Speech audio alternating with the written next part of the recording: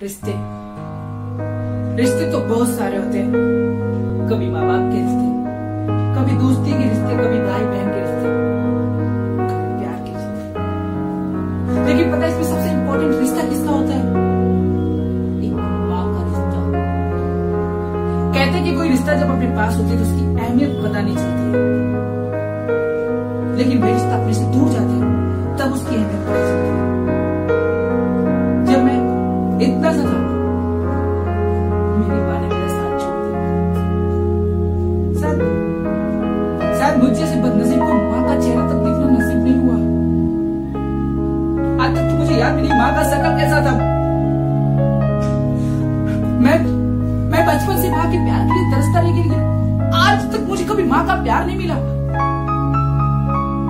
जब मैं अपने दोस्तों के साथ जाता था, जब मेरे दोस्त को चोट लगती थी, माँ उसके पास दौड़ के जाती थी, लेकिन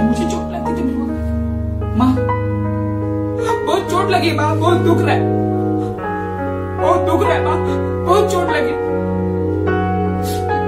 लेकिन मेरी बात नहीं सुनती थी क्योंकि मेरी माँ नहीं थी।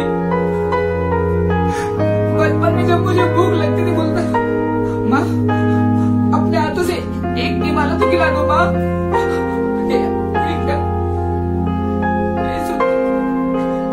क्योंकि मेरी माँ नहीं थी। लगती थी माँ के प्यार के लिए। मैं बोलता हूँ भगवान, क्या गुनाह किया था मैंने? तेरा जो तूने मेरी बचपन में माँ को छीन लिया। क्या गुनाह किया था मैंने? माँ